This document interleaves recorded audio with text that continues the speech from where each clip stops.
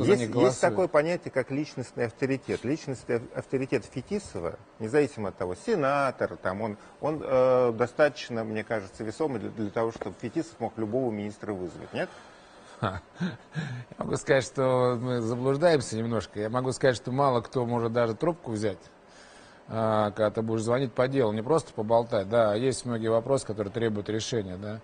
И на письма не отвечать. То есть я могу сказать, что мне кажется, что наша сегодняшняя жизнь подсказывает, что мы должны разделить ответственность между администрацией президента, правительством и теми людьми, которые наделены полномочиями, в общем, пройдя выборы.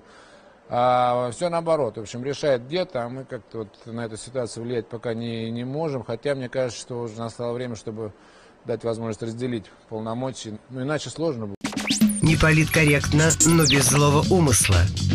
Иронично, но без сарказма. Пристрастно, но по-честному. «Правда-24» и Евгений Додолев.